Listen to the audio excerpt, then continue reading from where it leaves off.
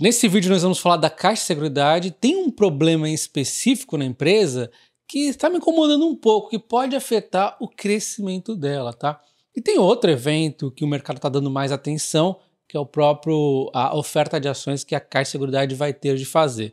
Vamos começar falando pela oferta de ações, que eu acho que não tem grande segredo, já havia comentado isso há bastante tempo, que a Caixa de Seguridade deveria fazer provavelmente nesse ano, e agora começa a sair alguns fatos relevantes. Um fato relevante, na verdade, né? Bom, então dia 16 de outubro, a Caixa Seguridade ela informou aqui via fato relevante que ela havia sido comunicada pela Caixa Econômica Federal sobre a necessidade de fazer uma oferta de ações. Então a controladora vai vender um pouco de ações para aumentar aqui o free float, né?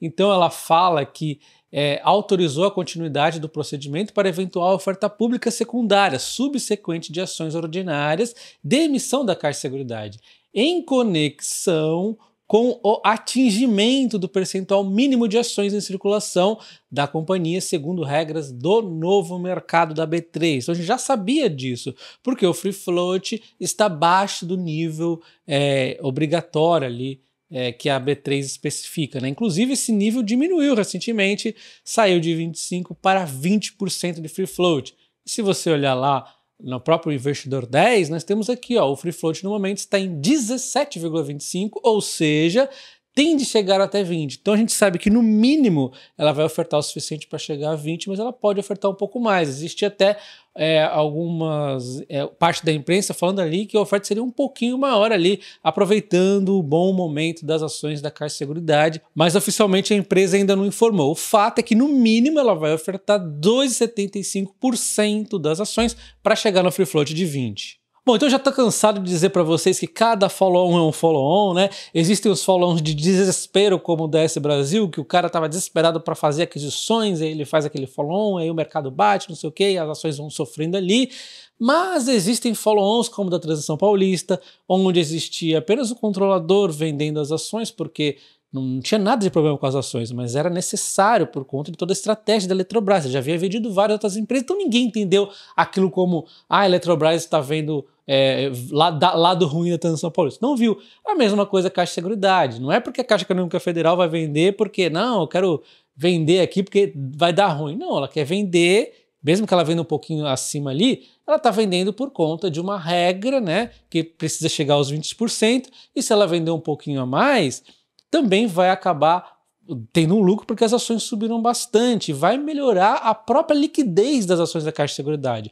Quanto maior o free float, melhor a liquidez, não tem mais negociação, que acaba ajudando para quem opera com opções, é bom, acaba sendo bom. Vocês viram que a Atenção Paulista, aos pouquinhos, ela está ganhando uma liquidezinha ali, e no longo prazo eu espero que ganhe mais, tá? E a Eletrobras nem vendeu todas as ações. Mas enfim, free float maior eu acho uma boa, por isso que existe essa regra de menos, mínimo 20% para o novo mercado, porque obviamente acaba ajudando ali no free float da, na, na negociação das ações, né? Bom, então desde ali do topo que ela fez em setembro até o momento, ela vem caindo cerca de 12,5%, que é uma queda significativa, exatamente por conta do pessoal já estar tá com medo, né? O pessoal vê essas notícias, não, vai ter ali o follow-on. Ele já começa a vender porque ele sabe que o follow-on vai trazer um desconto nas ações e é todo mundo querendo vender antes de cair, continua caindo, o pessoal continua vendendo. Na verdade, chega um ponto que o follow-on nem pode ter tanto desconto, porque as ações já tiveram essa queda. Muito provavelmente, é, quando sair esse follow-on, não vai ter um desconto tão grande na minha visão, porque a empresa está indo bem. Inclusive, o aumento da taxa Selic para seguradores, como você sabe, tem o contraponto. Piora o operacional? Piora. De fato, para todas as empresas é melhor que a Selic não fique tão alta. Mas, por outro lado, ela ganha ali na renda fixa, que ela investe na renda fixa também. Então, é, vamos dizer, é, é, menos pior, né, entre aspas aqui, para a Caixa de Seguridade, para a BB Seguridade, o aumento da taxa de juros, do que, de repente, para uma outra empresa ali que está querendo crescer e tudo mais. Né? Bom, então as ações têm esse desconto de 12,5%. Na minha opinião, quando sair esse follow-on, não vai ter um desconto tão grande assim, porque é uma ação querida pelo mercado, assim como era a Transição Paulista, né? Então eu não acho que vai ter um grande desconto. É diferente daqueles follow-on onde a empresa está fazendo no meio do ruído. Lembra desse Brasil? É diferente. Então tenha isso em mente. Cada follow-on é um follow-on. E eu desde 2007, então olha quantos eu já vi disso aqui, né? Então assim, de fato, cada follow-on é um follow-on diferente. Então, numa continha de padaria, esses 2,75% de follow-on que ela poderia fazer, supondo que ela vai fazer aqui o mínimo necessário, representaria 15,94%, ou seja, a cada mil ações, nós teríamos aqui então direito a é, subscrever cerca de 160 ações, provavelmente a um preço de desconto. E aí, é, será que vale a pena subscrever? Bom, óbvio que a gente vai ter que esperar o preço, né? Provavelmente. Mas antes de eu dar esse comentário, eu preciso dizer do ponto de risco, porque não é o follow-on o ponto de risco. Lembra que eu disse que tem um problema aqui que me incomoda um pouquinho na Caixa de Seguridade? Não é nada demais, mas a gente precisa entender aqui junto, tá? E a minha preocupação, entre aspas, vem da Caixa Econômica Federal, o controlador da Caixa de Seguridade. Eu sempre disse para vocês que a Caixa de Seguridade ela iria desacelerar devagarzinho ali aos poucos, mas durante um bom tempo ela teria um crescimento maior que a BB Seguridade. Isso que eu estou falando agora afeta o crescimento. Só que, de um lado, talvez nem tanto, porque olha só, a demanda por financiamento cresceu mais de 40% na Caixa Econômica Federal, então realmente estava explodindo isso aqui. O que iria fazer talvez a gente revisar ainda mais esse crescimento novamente para cima da Caixa Seguridade. Só que isso não vai acontecer. Por quê? A Caixa Econômica Federal colocou um freio aqui nesse negócio. Então ele está emprestando menos. Por quê? exatamente por conta desse crescimento todo e por conta dos recursos da poupança que minguaram, né? diminuiu ali o recurso da poupança. Então o que acontece? Não está fechando as contas, os principais é, re, é, recursos dela vêm ali da poupança para o crédito imobiliário. Então ela teve que fazer esse freio e afeta diretamente a Caixa Econômica, aliás, a Caixa Seguridade, eu vou mostrar onde daqui a pouco. Mas olha só, para vocês verem, tem um crescimento muito grande. 2023 estava meio devagar ali, 2024 explodiu o negócio, né? Então o que acontece? Com esse crescimento todo aqui na Caixa Econômica Federal, ajuda nos empréstimos da Caixa Seguridade.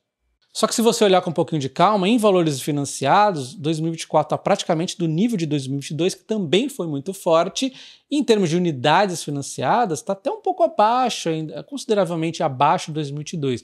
Então o que está acontecendo é o seguinte: nós temos aqui uma desaceleração em relação a 2022. Né? 2023 já tivemos essa desaceleração, 2024 estava indo bom de novo, a gente esperava que ia poder projetar crescimentos maiores, e aí tem um pouquinho desse freio de mão aqui. Então tem muito correlação também à, à própria poupança ali, conforme eu já disse.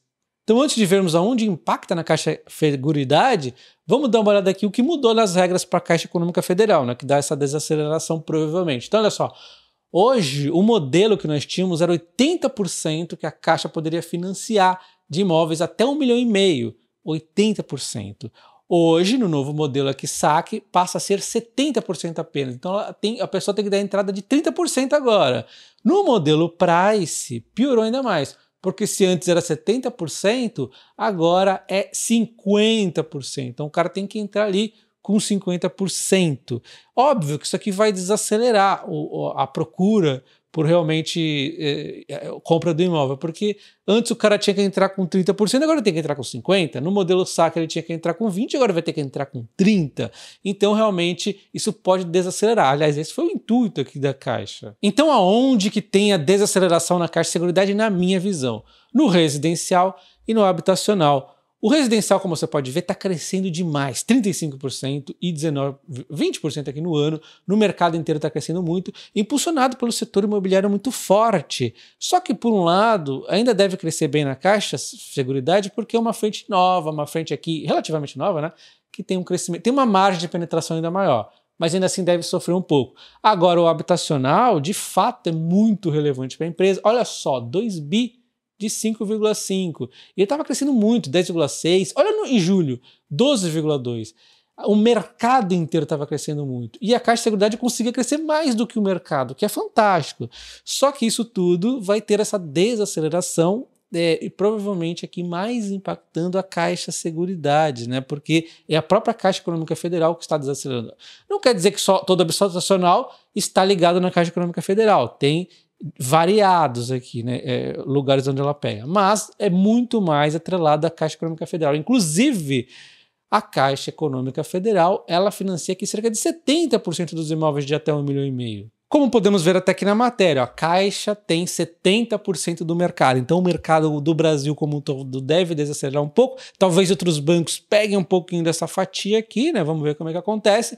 E a Caixa Econômica, a Caixa Seguridade é que mais vai acabar sendo impactada se isso realmente desacelerar. Vocês viram que a entrada está aumentando. Então, provavelmente vai desacelerar um pouco ali. Mas, por outro lado, a Caixa Econômica Federal já está traçando ali alguns planos de incentivar a poupança, incentivar não sei o que lá. Então, ela está tra traçando os planos dela ali. Vamos ver como é que vai funcionar isso. Né? Eu não, não posso dizer se vai funcionar ou não, qual tempo vai ficar isso aqui, mas o fato é que impacta um pouco nessa perspectiva muito bacana da, da Caixa de Seguridade. E crescimento importa demais. Hoje o dividend yield da Caixa de Seguridade está em 9,24 ao preço de hoje, de 14,50. Mas olha só o meu yield on cost. O yield é o preço que eu comprei. 17%. É um yield fantástico, né? Porque a empresa cresceu os preços que eu comprei. Só que você não pode ficar pegado ao yield, tá? Porque não muda nada.